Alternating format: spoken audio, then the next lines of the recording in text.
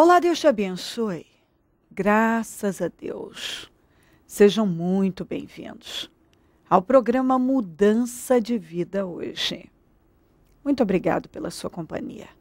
Que o Senhor te abençoe e honre muito com toda a sua família sempre. Hoje, em todos os nossos templos, nós realizamos a reunião das sete unções, às 9, 15, 19 e 30.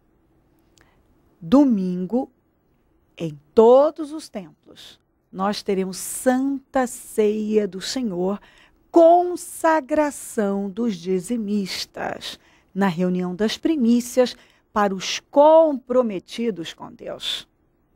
Se você não toca no corpo do Senhor, não tem parte com Ele. Se você parou, o que está fazendo longe de Deus? Hum?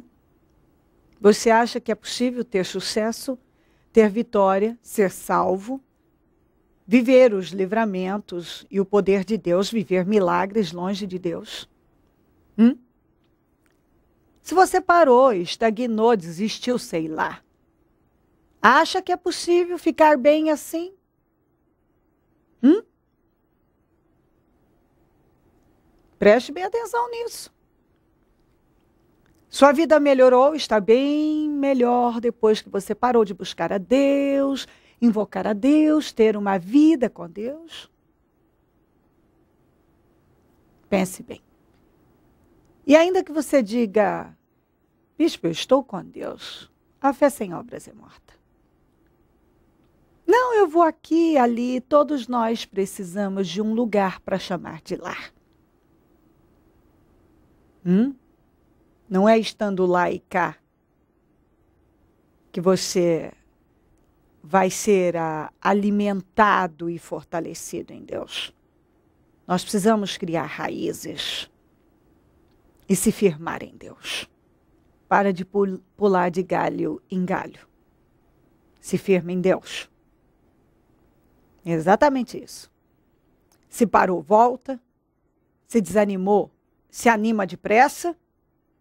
Se vive lá e cá, está na hora de você se estabelecer. Para que possa desfrutar do poder de Deus. E domingo, na reunião das primícias, nós vamos celebrar a Santa Ceia do Senhor em todos os templos e teremos um trabalho abençoado. Em São Paulo, eu vou realizar duas reuniões. Uma às nove da manhã e outra às 18 horas. Em nome de Jesus. Olha o que diz aqui em Hebreus 4, no 2. Porque também a nós foram pregadas as boas novas, como a eles. Mas a palavra da pregação nada lhes aproveitou por quanto não estava misturada com a fé naqueles que a ouviram. Quantos que já ouviram a palavra do Senhor? Quantas vezes você já ouviu que a saída é o Senhor? Que nele nós encontramos solução. Que ele é o único capaz de salvar, libertar, mudar a vida de uma pessoa. Hum? Talvez você já ouviu muito, muitas vezes, sobre Deus, sobre a palavra de Deus, sobre o poder de Deus, sobre a capacidade de Deus de agir em qualquer situação. Mas até hoje, você não misturou com a fé. Você não creu. Você até ouviu. Você até viu acontecimentos, milagres. Mas você mesmo até hoje não misturou com a fé. E você pode ouvir a palavra de Deus muitas vezes. Mas se você não misturar com a fé, se você não crer,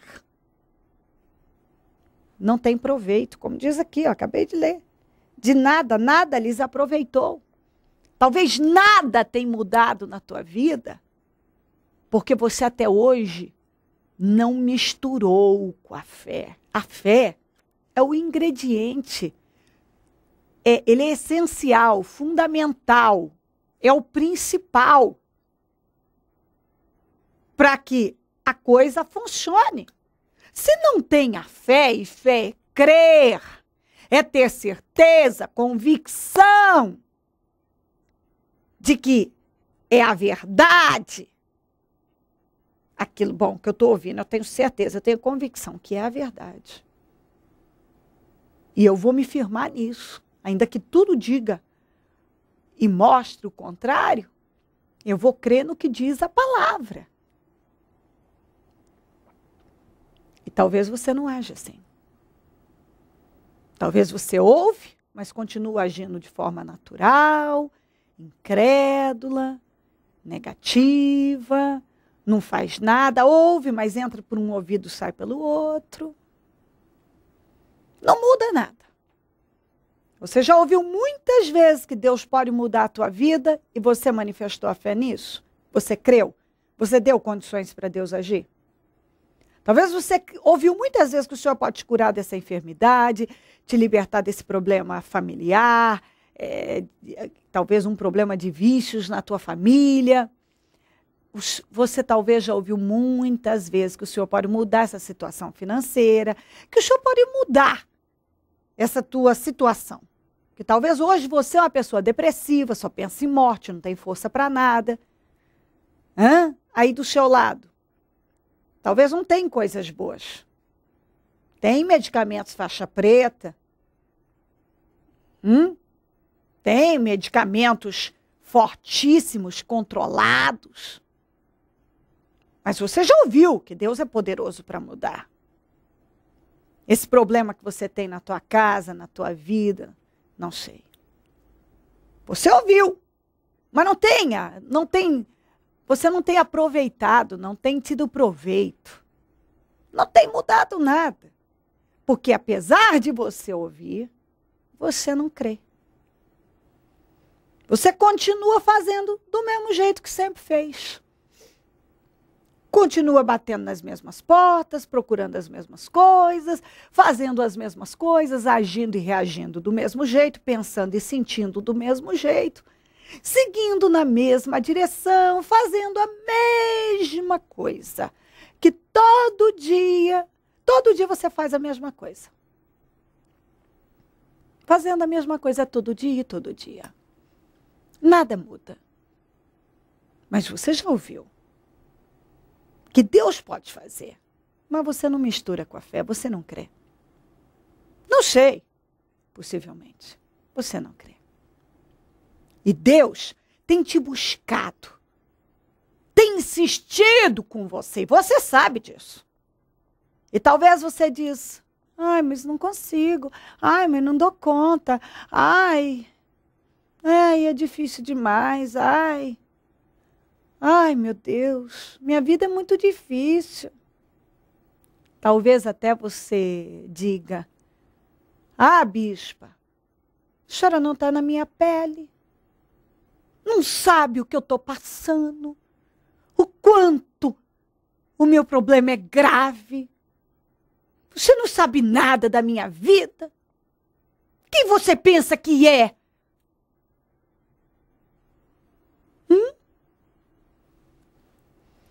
Eu sei de uma coisa. Que, do jeito que você está, está piorando. Pensar, se você pensa assim, em nada está te ajudando.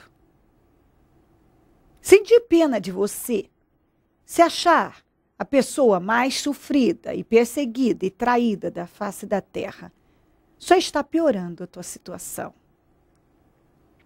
Tem gente sofrendo, se você não sabe, até mais do que você.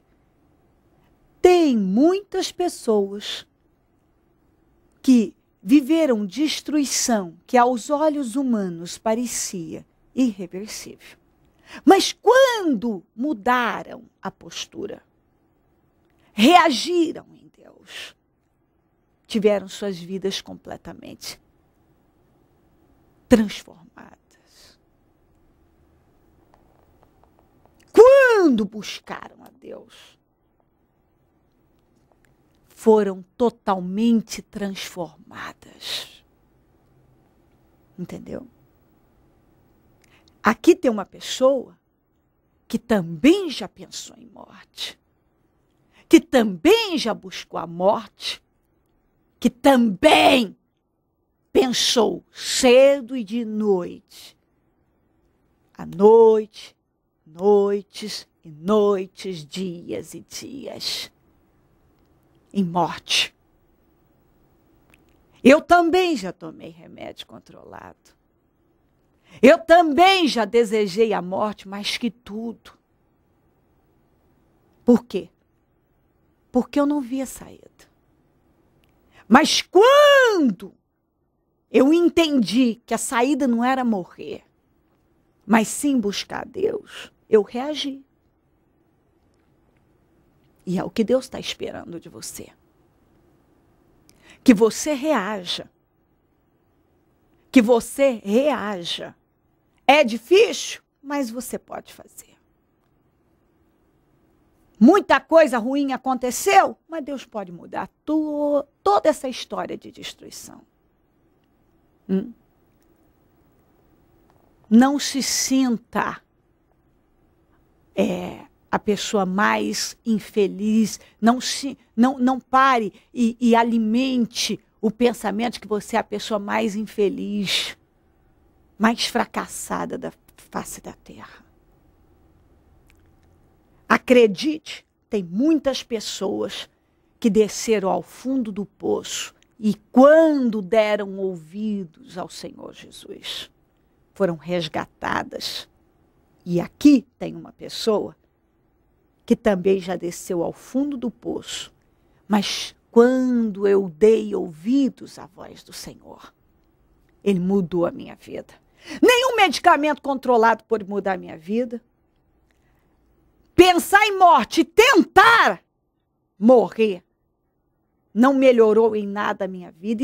E, e, vou dizer uma coisa: se eu tivesse conseguido realmente cometer suicídio, se eu tivesse realmente morrido, eu estaria hoje no inferno, sendo atormentada há anos pelo capeta. E quem entra no inferno nunca mais sai de lá. Mas como eu dei ouvidos ao Senhor, eu fui liberta de tudo isso. E não só recebi vida, como tenho podido levar vida a milhares de pessoas. E é exatamente isso que o Senhor quer fazer por você. Pegar essa tua bagunça e transformar num grande milagre. Pegar essa tua vida destruída e transformar num grande milagre. Fazer de você uma estrutura. E hoje, você que talvez não tem vida, amanhã, além de ter, vai poder levar para outras pessoas. Pega a palavra e mistura com a fé. Não adianta ficar aí ouvindo, tá na hora de você reagir. A fé sem obras é morta. Você tem que decidir. Eu vou me erguer, eu vou reagir. Eu vou dar condições para Deus transformar o meu viver. Misture essa palavra com a fé e viva o poder de Deus. Em nome de Jesus. Se você crer, desejar, quiser orar comigo, prepare um copo com água um azeite, algo que queira colocar sobre a TV. Eu volto já para nós orarmos. O que, que aconteceu? Bispo, eu sempre tive um sonho de ter algo a mais. E na minha vida profissional, graças a Deus, todo ano estou sendo abençoado. Mas sempre na campanha de começo de ano e o projeto. E esse ano eu projetei que eu queria um comércio diferente do meu ramo. E assim, do nada, veio uma situação e o rapaz chegou em mim e falou assim, ó, tem uma proposta, uma proposta boa, e Deus tocou no meu coração de te chamar. Você quer de entrar de sócio comigo nessa firma? Eu falei, é, se for assim a vontade de Deus, eu quero. Ele falou, não, mas eu precisava da resposta hoje. Eu falei, não, eu não tenho essa resposta hoje eu vou procurar um meio. E assim eu cheguei aqui na igreja e meditando na palavra cada dia. E num sábado, no jejum aqui, eu falei: hoje eu vim aqui para pedir e Deus vai me mostrar hoje. Eu falei: Deus, me mostra um caminho, me mostra um meio que eu preciso de uma resposta. Aí ele veio na segunda-feira e falou: E aí, você tem a resposta? Eu falei: Tem. Deus me mostrou um caminho e vai ser esse que eu vou seguir. Eu quero a sociedade e a gente vai começar a correr atrás das coisas. E a gente ia no salão, tudo certo, daí a pouco nada dava certo. Aí eu falei, mas Jesus, o que está acontecendo? E levante na minha vida profissional, na parte na área da construção civil, começou um atrás do outro. Todo mundo, todo mundo. Eu falei, o que está acontecendo? Aí na sexta-feira eu estava aqui, a gente já tinha perdido um salão. Eu falei, mas que coisa, né? A hora que a coisa está tudo certo e do nada acontece. Eu falei assim, na sexta-feira eu estava aqui e falei, Deus, hoje eu preciso de uma resposta e hoje eu quero sair daqui com ela. Esse salão, onde tiver, o senhor vai me mostrar hoje. Aí saímos daqui, bispo, estou indo embora. Cheguei na Avenida Nossa Senhora da Paz, eu falei assim para ela. Eu falei, aqui. Ela falou, o quê? Eu falei, não sei. Deus está me mostrando que é por aqui. Aí entrei na, na Coutinho Cavalcante e olhei dois salão. Aí eu falei, amanhã eu volto aqui. Aí no sábado acordei cedo Cheguei lá, olhei num salão, olhei no outro. Aí abri um portão, rapaz, o que, que você está olhando? Eu falei, não, que eu preciso alugar um salão para começar a trabalhar urgente. Ele falou assim, pronto, você vai alugar dois. Eu falei, mas como? Ele falou, não, não precisa de afiador, não precisa de nada, não. Vamos ali, já pega a chave do barracão e pô, pode começar a trabalhar. Desse jeito? Desse jeito. Eu cheguei em casa, eu não acreditei. Eu fazia assim, ó. Eu falei, mas você não pediu fiador? Ele falou, não, eu vou viajar. Não tem problema, não. Estou indo para Curitiba. Pode começar a trabalhar aí no salão. E pela honra e a glória do nome do Senhor, hoje eu comecei a trabalhar no salão já. Começou um novo negócio? Um novo negócio. E a gente foi na na firma. Cheguei lá na firma, que é uma, uma firma muito, muito grande, e a mulher não atende ninguém. E hoje, a hora que ela ficou sabendo que a gente estava na firma, ela falou assim: chama os dois aqui hoje no escritório. Aí pôs uma coisa assim que não dá para acreditar. É, a emoção deles é, é compreensível, porque quem conhece a história desse, dessa família, já ouvimos os testemunhos, dificuldade, ele veio da libertação de vícios, casamento deles destruído. Jesus restaurou. Ele que nunca foi bem sucedido, aliás, né, até trabalhava, mas por conta, fora da direção, fora da bênção, era um saco furado, entra por cima e sai por baixo. De repente começou a prosperar, a desfrutar do suor do seu trabalho e agora, além de hoje você, Deus ter mudado a tua situação, porque mudou, te libertando, te libertou dos vícios, restaurou o seu lar, restaurou sua família, restaurou sua vida profissional. Agora você está indo para um segundo negócio, dando um salto maior. Maior, e apesar de tudo, bispo, porque eu não vou parar minha profissão. Continua, é um segundo negócio. Um segundo negócio. O ramo da construção civil, vou continuar o mesmo jeito que eu estou, várias obras que eu tenho tocando, e mais esse negócio aí. Era um sonho? Era, era um sonho, mas eu não achei que ia vir tão rápido. Eu projetei para o final do ano. Você projetou isso para o final do ano? Final do ano, que eu falei que até o final do ano eu ia ter meu negócio, eu não ia mais aceitar isso. Aí aconteceu de uma forma que nem eu subi aqui no testemunho passado. Eu falei que eu ia começar um ano diferente. A gente foi viajar para um lugar que a gente nem imaginava, ficamos lá, aí voltamos, já aconteceu isso daí. Então, quer dizer, o começo do ano, projeto para 2012 é mais alto que a águia agora. Abençoado. Abençoado. Feliz. Muito. Momento da oração. Ó Deus de Israel, visita esta vida, Senhor, que se sente no fundo do poço, sem saída, sem solução, se sente tão triste, deprimida, infeliz, infeliz, não vê saída. E quando vê algum meio de sair do problema é na morte. Infelizmente, muitas pessoas buscam saída em muitas coisas. Em remédios, na morte, nos vícios, no pecado, mas não busca no Senhor. Talvez ela já ouviu muitas vezes a tua palavra, mas ela não misturou com a fé. Por isso que não tem, ela não tem vivido milagres, não tem tido proveito, como diz a tua palavra. De nada aproveitou, de nada, nada, não houve proveito em nada, porque ela não tem misturado com a fé. Ela ouve, mas ela não crê. Ela ouve, mas ela não manifesta a fé. Ela, não, ela ouve, mas ela não reage. Ela continua alimentando pensamentos ruins, sentimentos. Ela continua alimentando a ideia de que não tem saída, não tem jeito, não, não tem o que fazer, é o fim. Que é irreversível, que o problema dela é muito grande, que ela não consegue, ela não dá conta. Mas eu quero repreender esses pensamentos, esses sentimentos, essa força diabólica, esse espírito de morte, essa infelicidade, essa angústia, esse desespero, essa cegueira. Saiam em nome de Jesus tudo que oprime essa vida, esse espírito da loucura, do ódio, da raiva, da revolta, sai agora em nome de Jesus. Esse sentimento de autopiedade, autocomiseração, essa pena de si mesmo, tudo que oprime essa vida, sai agora em nome de Jesus. Esse bloqueio mental, esse bloqueio nos olhos da visão dela saiam agora em nome de Jesus. Em nome de Jesus Cristo, essa falta de ânimo, essa falta de força, essa falta de vontade de reagir. Em nome de Jesus, saia. Saia agora esse espírito da entrega, sai em nome de Jesus. Eu ordeno toda obra do inferno que tem oprimido esta vida.